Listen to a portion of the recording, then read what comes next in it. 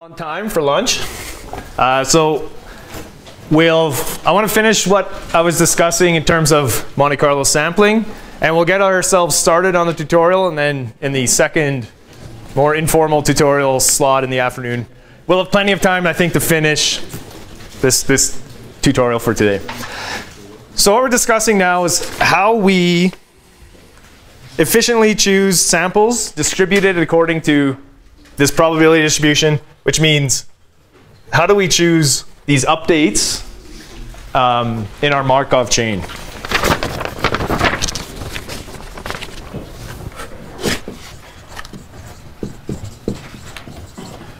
How to choose, say, x k plus 1 from x of k in Markov chain Monte Carlo. Such that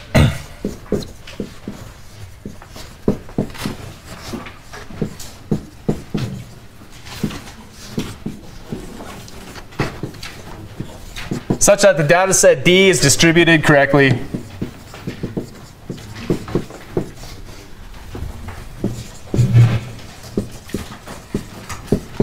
According to P of X which is the distribution of interest.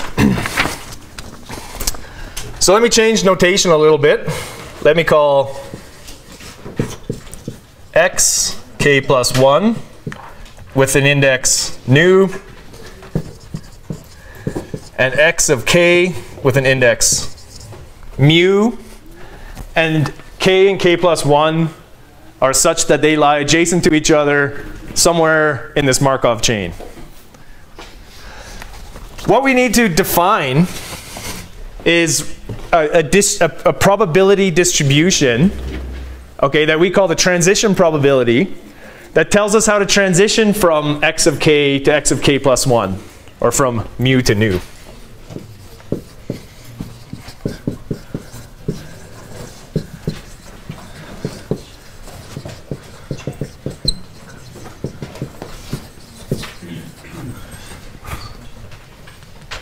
Transition probability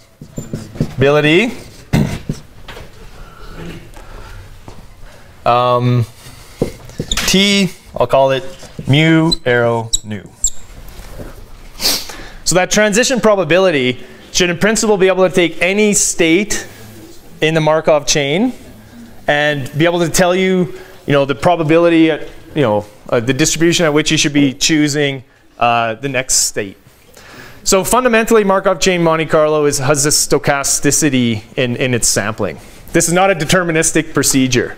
You can imagine other methods of producing samples that is deterministic, but so fundamentally we're looking at a probability, or we're defining a probability, which makes this, uh, again, stochastic or random. so this probability has to be greater than or equal to zero.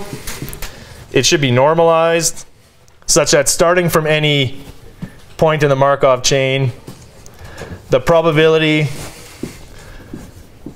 of exiting that configuration to another one sums to unity, and so on. so in order for uh, our data set to be distributed correctly, the procedure by which we uh, update according to this transition probability can be derived according to two conditions.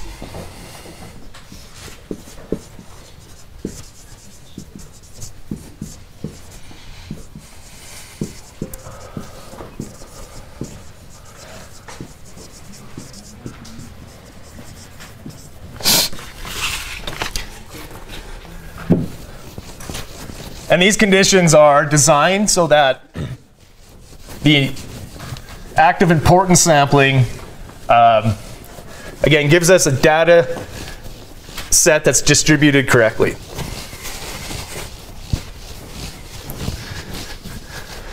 So you might have heard of these before. The first condition is what's called detail balance.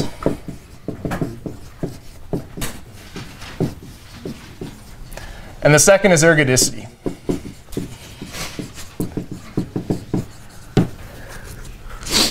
I'm going to talk, bad choice of words. I'm going to talk in detail, no, about detail balance. Um, let me just mention ergodicity briefly. It'll come up again in these lectures.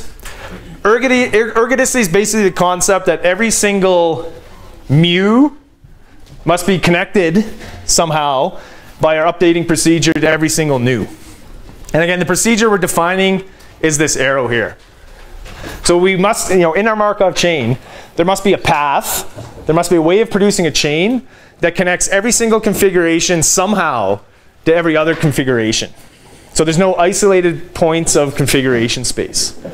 Because now that we're not sampling uh, according to a uniform random distribution, because we're doing this procedure, where x2 is based on x1, x3 is based on x2, we have to ensure that we enforce, enforce this, and it's called ergodicity.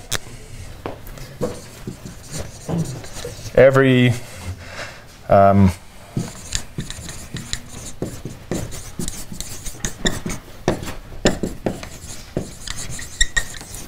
I'll leave it purposely vague.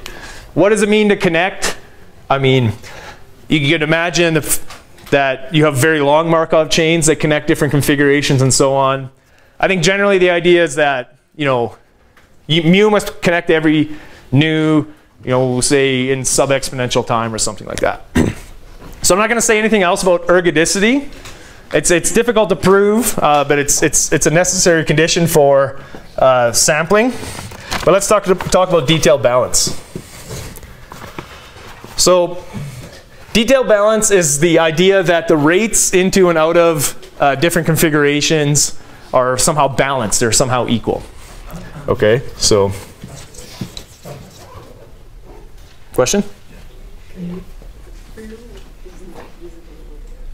Blue is not visible? Minus one for everyone in the other room. That's hilarious.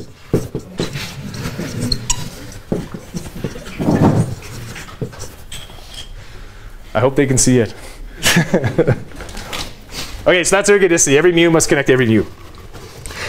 Detail balance.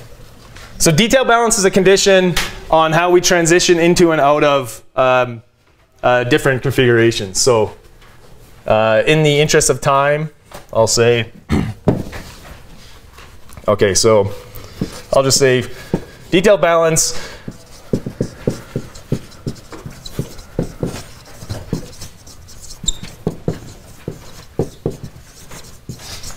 We'll sample the correct stationary distribution, the correct distribution that we're aiming for. Say I'm calling, which I'm calling P of X. Um, if when we transition from mu to nu, the transition probability out of that mu times the probability that we've you know initially landed in that mu is equivalent to sort of the converse the the probability that we've landed in nu and the trans and the transition probability out of it. Did I get that right? Yes. So as a ratio the ratio of transition probabilities has to equal the ratio of probabilities in this way. This is typically how we derive expressions for the transition probabilities. And it depends on this ratio of probabilities that presumably we know. Okay, so we're, okay, I'll, keep it in black. For this, the purposes of this um, part of the lecture, we know these. Okay, so for example, in the case of the Boltzmann distribution, you know, because it's an exponential, you see how these ratio of transition probabilities depends on the difference in energy of the two configurations. So that's sort of a nice physical example.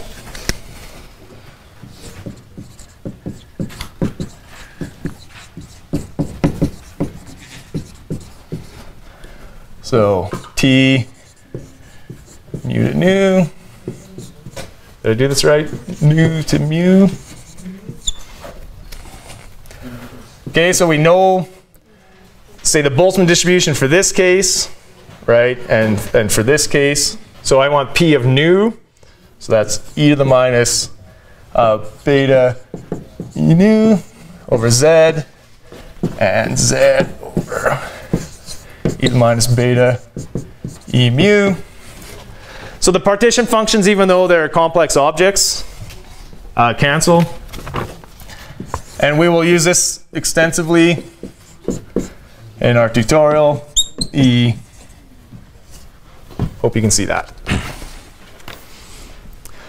So the difficulty isn't necessarily in uh, deriving, you know, this ratio of transition probabilities. It's really what is the process by which we, we jump between these different states that satisfies uh, this condition called detailed balance. Okay. So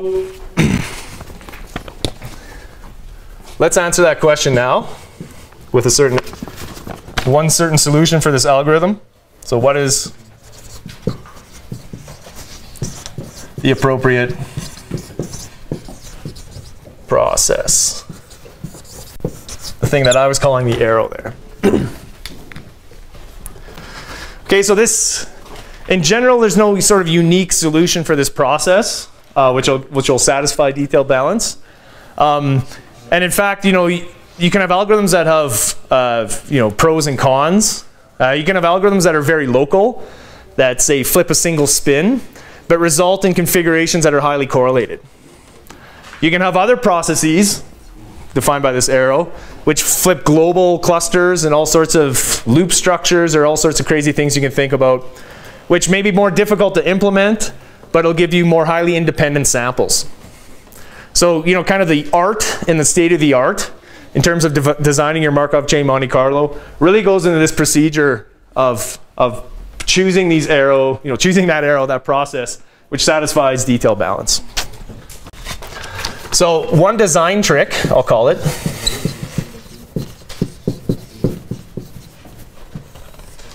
is to split the transition probability up. So let me take T mu to nu, and I'll split it up into what I'm calling a selection probability and an acceptance ratio. So G mu to nu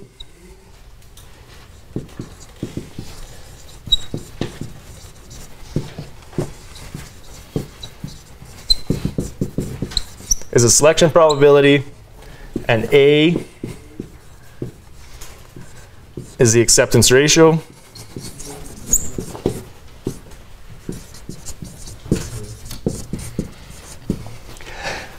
The selection probability tells you how you target nu. So sitting in mu, which is xk, so it's that image or it's that vector of binary Ising configurations, what's the probability that I target some other configuration?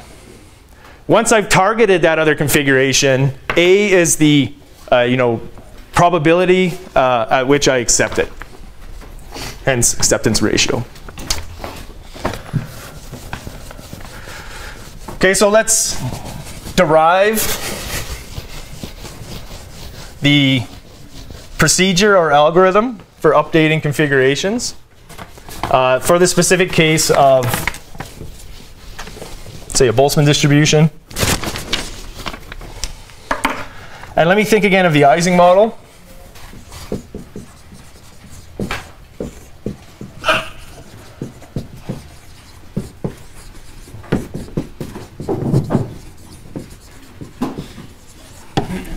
Where I have a configuration mu is xk is some x1, x2, xi, xn for n qubits or n spins. and as a target, you know, let me imagine selecting this site index i at random and then flipping that spin. Okay, so again, this has some configurations of ups and downs or plus and minus ones or whatever we're calling them. Minus one, one. Maybe this is one here. Maybe this is minus one, whatever. So let me imagine designing an update that is a single spin flip.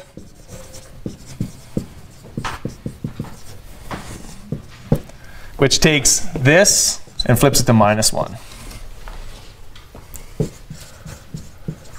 So you can imagine choosing the, the site index i at random.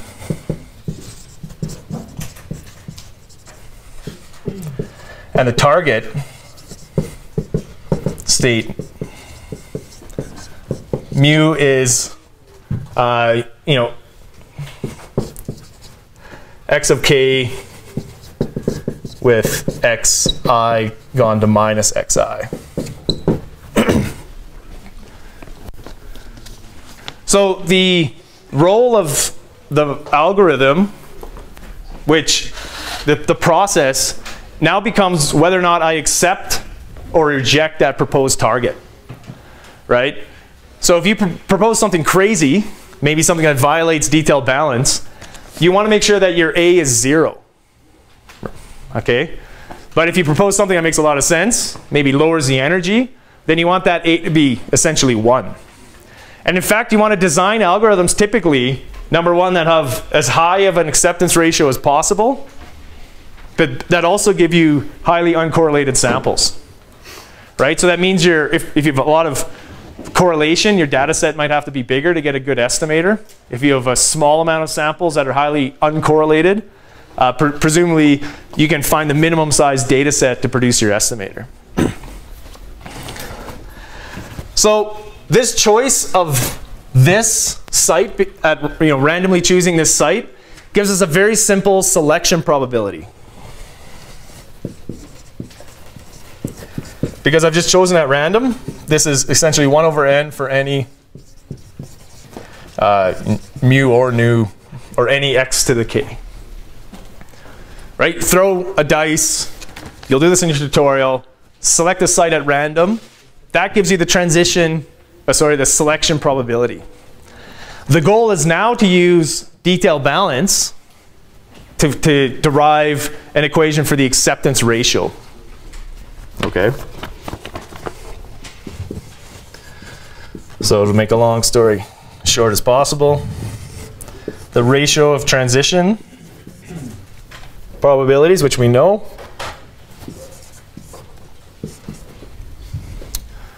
did I write it somewhere? I'll write it out.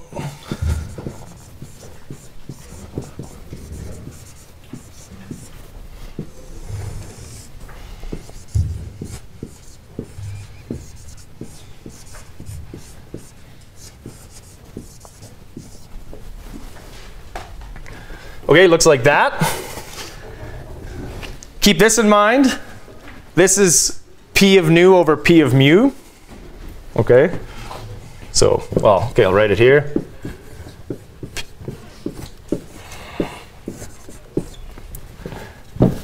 But now we can insert our expression for G.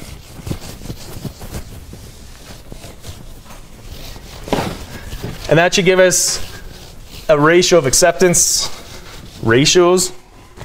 Sounds weird. There's our G's. They'll cancel.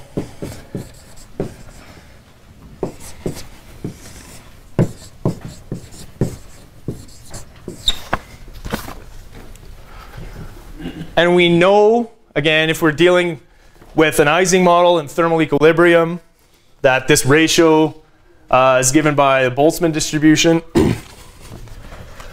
so this will just give us uh, expression for the ratio of acceptance ratios. That's e to the nu minus e to the nu.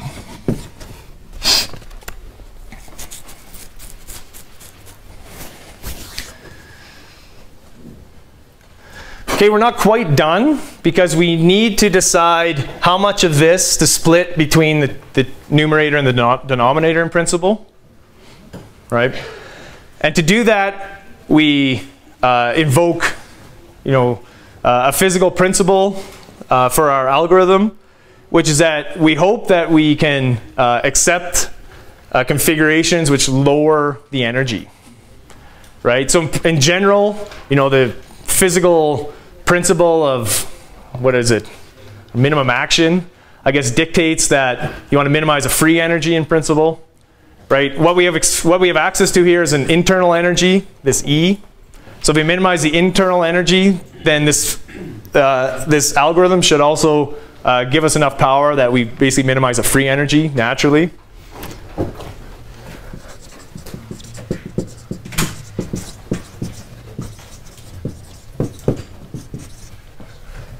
To uh, say allow this, you can make a cho choice. Choose that if the configuration E nu is what? Less than, see if I can screw this up. E nu, then the acceptance ratio, ratio of nu to mu is always accepted. Shouldn't it be uh, G nu to mu A nu? Is it split?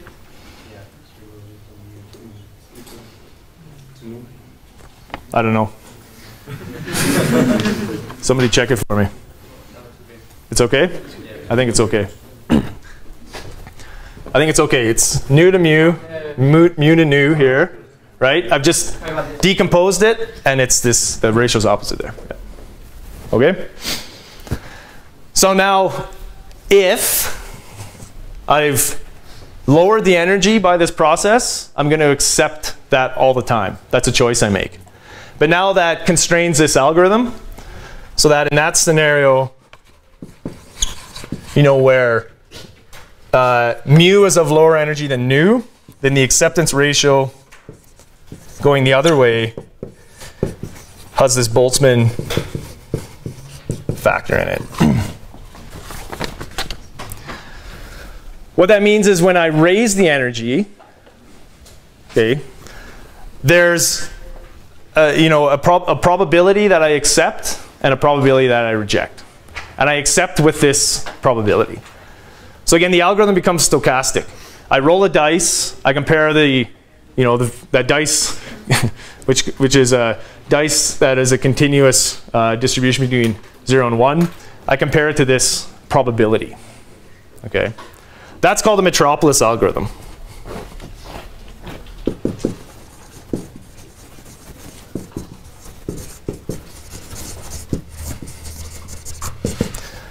It actually took many years to sort of uh, settle on exactly this form for the Metropolis algorithm. This is the form that we'll use in the tutorial today. Okay?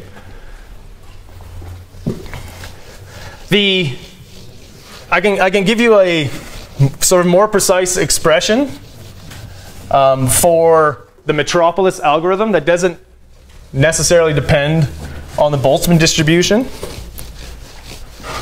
So let me call that the generalized metropolis algorithm.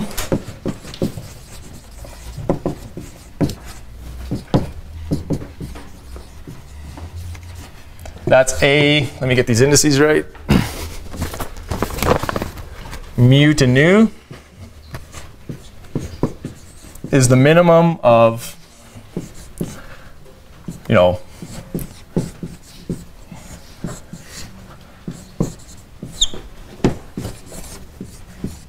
oops.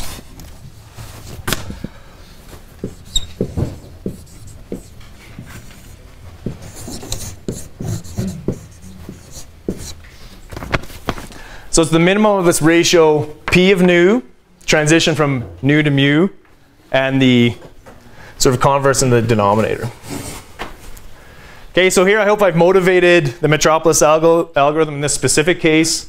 This is what I'm calling a generalized version. Okay, and I want to um, digress momentarily uh, from this strict example of the Ising model that we're going to deal with today.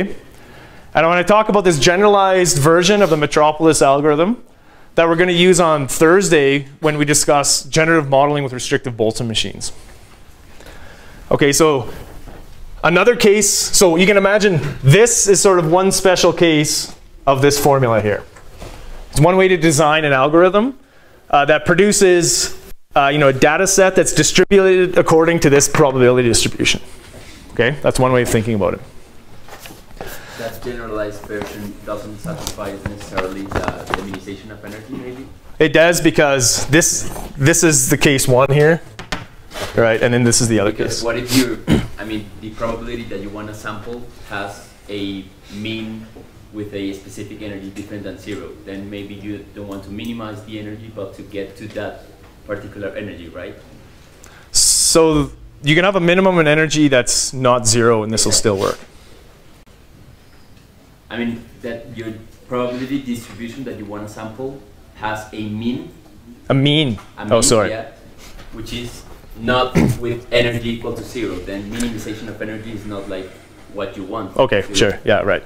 Yeah, so, so the, the, I think the principle that we chose uh, for case one there basically assumes that we have this, uh, you know, minimization of the action or whatever it's called. But there's, there's many other versions. Let me put it that way. Let me talk about another specialized case of this.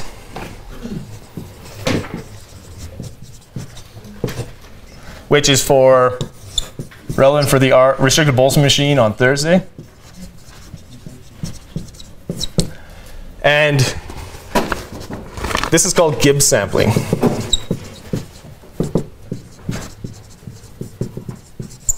So Gibbs sampling and Metropolis sampling are often uh, considered very different, but this formula here, which I've tried to motivate, is a way of connecting the two. Let me put it that way. So if you see Gibbs sampling, it's nothing to be scared of. All it is is uh, a sampling with conditional probabilities.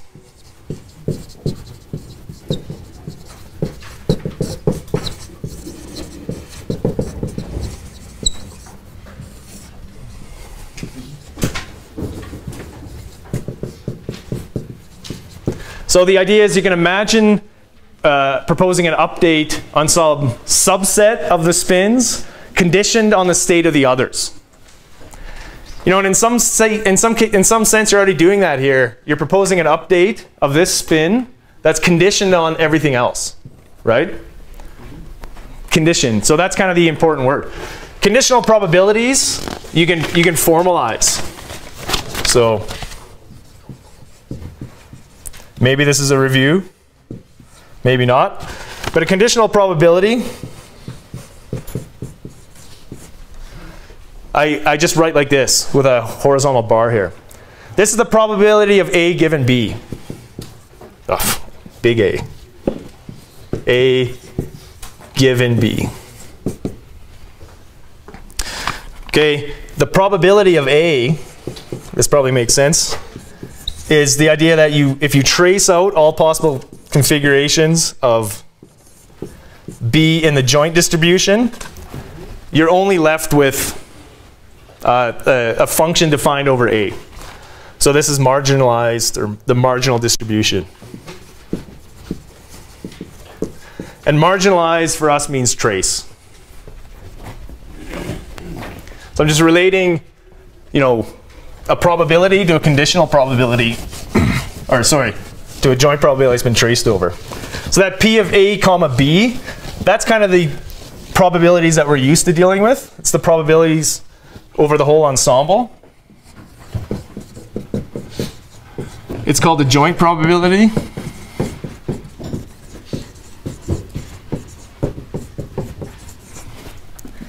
And the relationship between the joints and the marginals is given by the so-called product rule.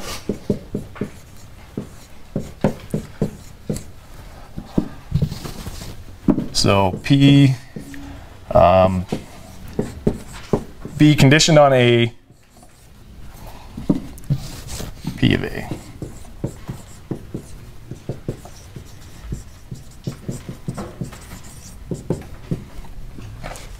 That's just an exercise in what's called conditional probability distributions. okay, so when we have all the Ising spins together, and we have a, a Boltzmann distribution, that's kind of the joint distribution. What I'm, what I'm asking you to imagine now is that I pick a subset of those Ising spins, and let me call it um, you know, A, and let me propose an update on A while holding B fixed, then that means that the, you know, the G in my algorithm is this conditional probability. It's the probability of a new configuration of A with B fixed. So let me go back to my previous notation, and I'm just going to use the rules of conditional probabilities to def uh, define what we call Gibbs sampling using this generalized uh, Metropolis update, or Metropolis algorithm. So it's back to, say, Ising variables, uh, x, so this is my mu equals x of k, say,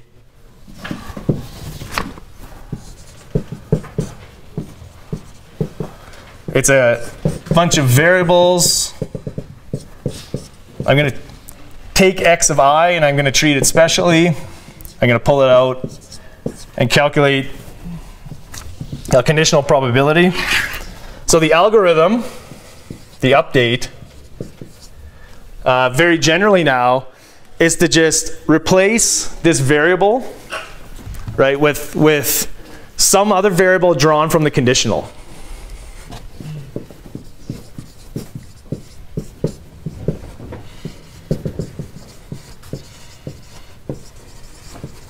Its value is still either plus one or, plus one or minus one for the Ising model. Right, but what we're going to do is draw that according to the conditional.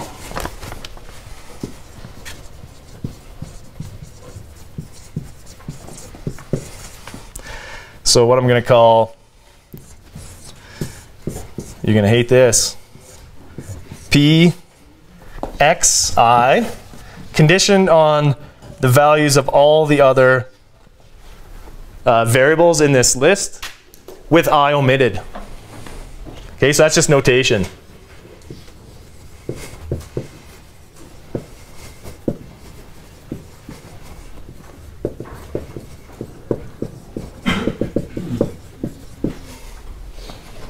Okay, so it's like I said, I'm conditioning my probability of choosing plus one or minus one based on the values of everything else. You see how it's very similar to what I've been doing before? I'm just formalizing this in a, in a different way um, with, the, with these expressions for conditional probabilities.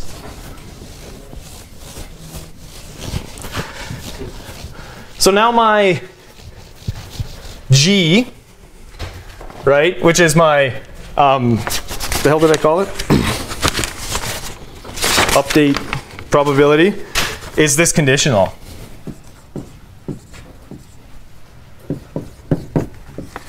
So I'm going from, say, mu to nu.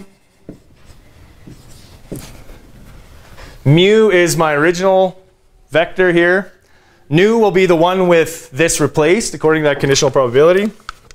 So I'll just call this P xi, right, which is my new value, x minus i, vector, which is that vector of all of the other values with index i omitted.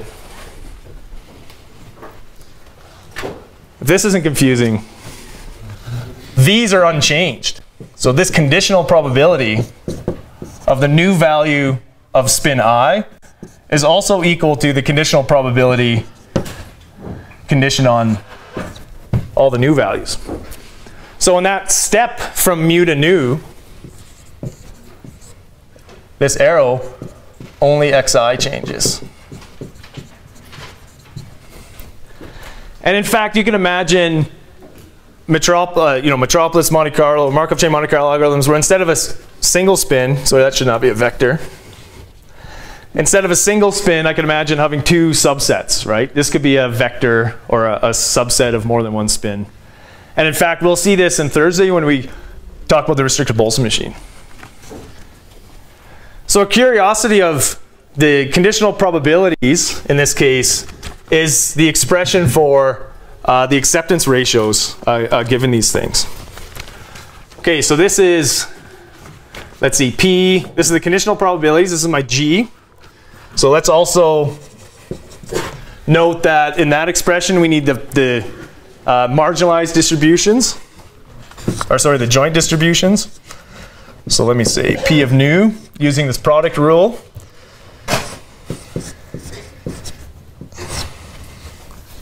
Which I'm just defining like this now. This is the full, um, do I like that notation? Sure. This is the full vector. Is the conditional.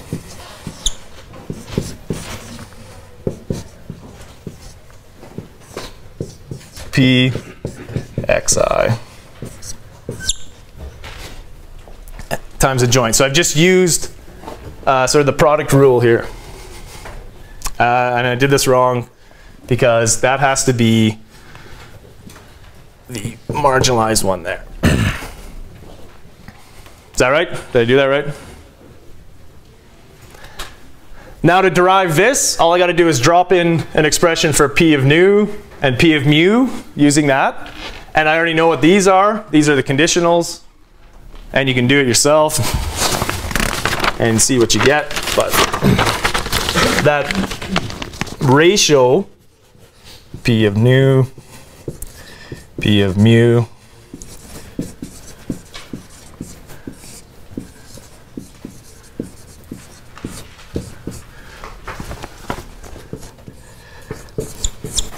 So let me write the first part like this.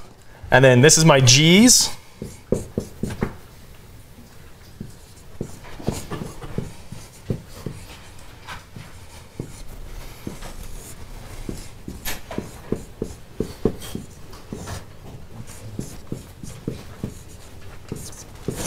And I've taken advantage of the fact that the, you know, all the other states that I've labeled by minus i don't change. Now I'm deriving this thing here. Let me just leave it on there.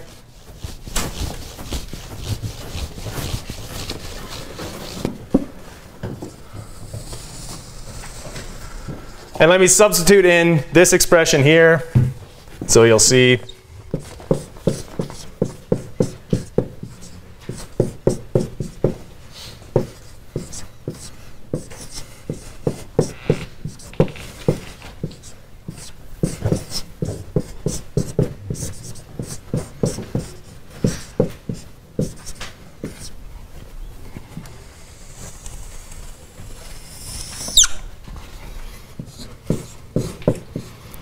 Looks like this finally killed my marker.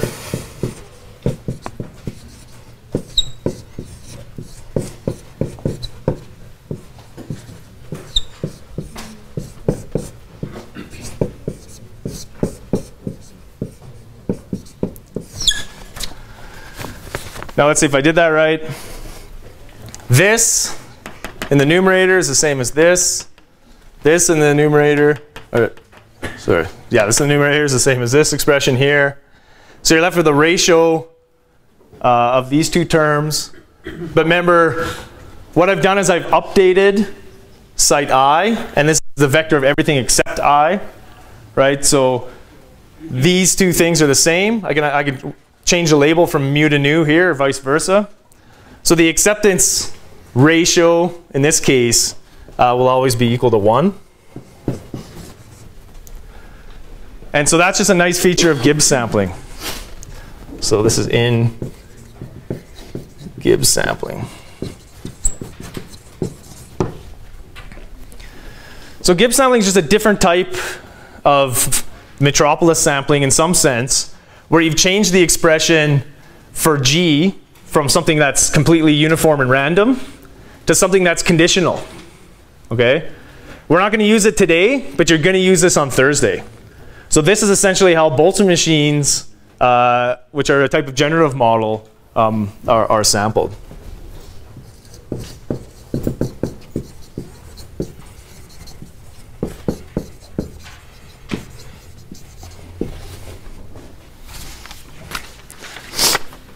Any questions on this? I suspect that's something you haven't seen before, even if you've seen Markov chain Monte Carlo.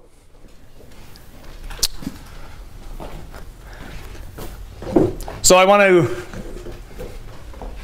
go. I, I want to go back to um, the the original Metropolis algorithm for the Ising model, and what we'll do in the next 10 minutes is just discuss what we're going to do in the tutorial, and then we're going to break out our laptops and start exploring these algorithms, and then we'll uh, finish up with that after lunch.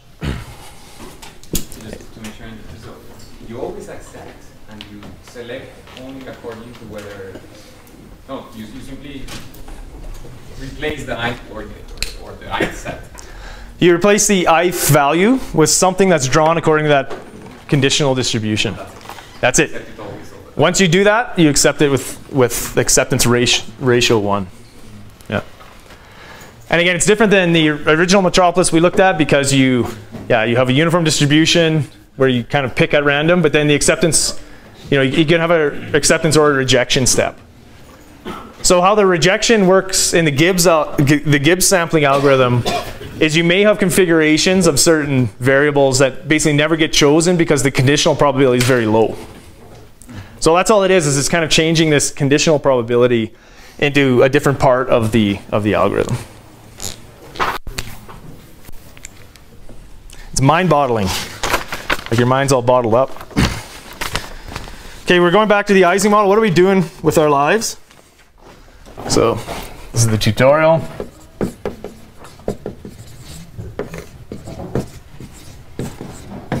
Again, 2D Ising. Um,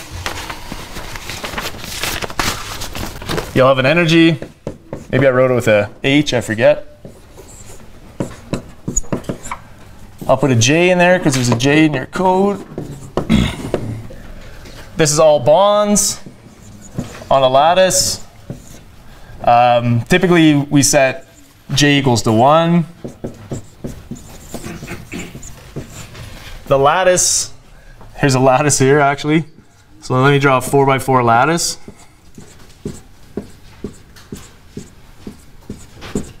In two dimensions. That sum runs over every bond, which is, that's supposed to be a J, which is the label, say I, J here, or you know, I, J here, say. So for every site, you can convince yourself that there's two bonds. There's two, there's two, there's two. I'm also periodic, so here's one, here's two. And this site here is this site here. Same with up here. I have two bonds per site. All right, this site here is this site here. That make sense? That'll be your, you'll have a data structure for that. Uh, we're going to update mu to nu with a Metropolis single spin flip.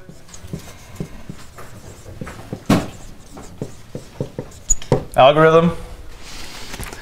Um, the first thing you'll do is you'll look at the expression for the energy, which in its sort of full naive form has this sum over all bonds, again, which is 2 to the n.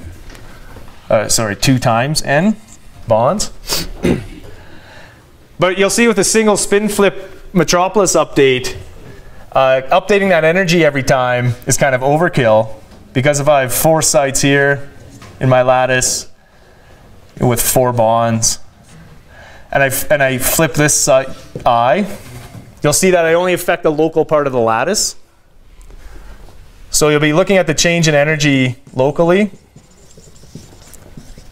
for a single spin flip. I'll show you in a minute on the projector. The goal will be to calculate estimators. Uh, expectation values of, say, the energy, magnetization. We'll calculate the specific heat. And we'll also calculate the susceptibility. So we know the specific heat, uh, which is beta squared E squared minus E squared. The susceptibility is beta times, I haven't derived this, but you can do it for fun tonight. Is the mean squared fluctuation of the magnetization. And as I'll explain later, we use the absolute value here. Let me get back to that. So we're going to calculate uh, these four estimators. And we're going to do it with the goal of seeing a phase transition.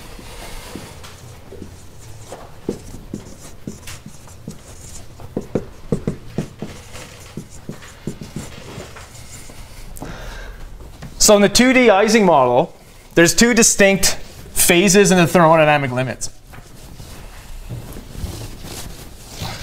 So if I draw a phase diagram, that is basically the only free parameter left uh, in the free energy, say, which is the temperature. it looks such, looks like this. So, so here's temperature or T over J.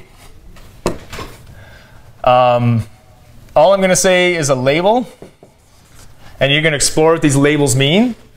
And one label is ferromagnetic and one is paramagnetic.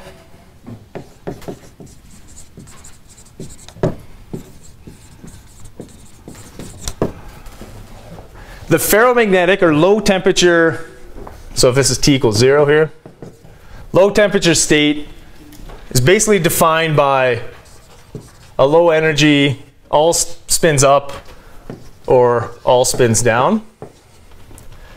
So if you've taken stat mech or condensed matter, you know that in the thermodynamic limit, which means when the number of qubits n goes to infinity, you spontaneously select one of these two states. But you'll explore how these states are selected in the tutorial. So the magnetization, or maybe the absolute value of the magnetization per spin should be 1 here. Where the magnetization, I'll just do it like this, is defined as sum over i from 1 to n sigma i. Right? Here, you should have a magnetization in the paramagnetic phase that averages to zero. and the absolute value is because you might get two of these states contributing, so I could also look at the absolute value of the magnetization here.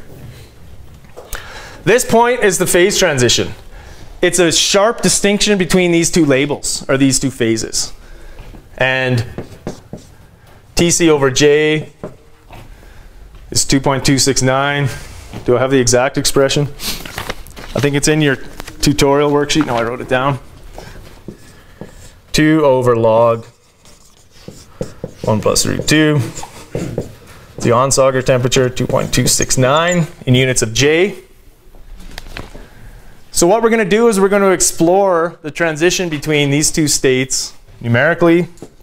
And what you'll do is you'll calculate things like the average magnetization per spin as a function of temperature for various discrete temperature points. And you'll see something that turns on at Tc and should saturate at a value of 1.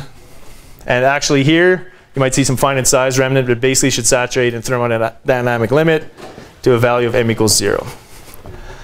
So these estimators, which are going to calculate from the data set produced by Monte Carlo, are the things which you know basically tell you, in this case, uh, what the two labels are.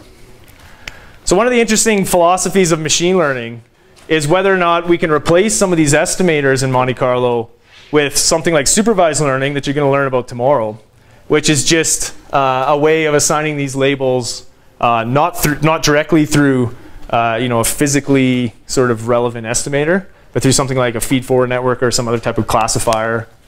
Okay. So as we go forward from today, I mean, all of this is sort of conventional, if you will, statistical mechanics or condensed matter physics. Uh, what we're going to think about is how we kind of replace paradigms of calculation that we've developed over you know, decades with other paradigms that have come more recently out of machine learning.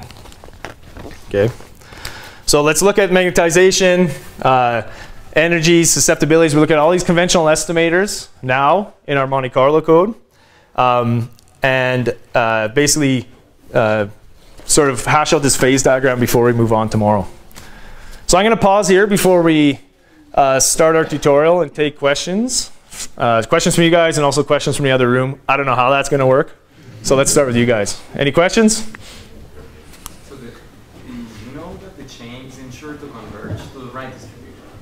Eventually, then the question is how do you, I mean, if I start doing this averaging, am I not using sampling with the wrong distribution at the beginning? Right, so the question is how do you know that you're converging to the right stationary distribution? I didn't actually derive detailed balance, uh, but that's one of the conditions that you need to satisfy. And it's, it's, it's basically uh, balancing the rate equation into and out of different configurations. No, wait, the But- I, I understand that because of detail balance you converge eventually to the right Right. The question is, the problem is the eventually part. The question is eventually, right? So there's there's two answers to that. One is the fact that you have to be ergodic in, uh, you know, I, I just vaguely define the concept of ergodicity, uh, which is the concept that every mu has to be connected to every nu. Okay, so you, and, but, you know, you can refine that definition a little bit more. So what does eventually mean? It means that, you know, in say the time of the universe, you sample all possible configurations.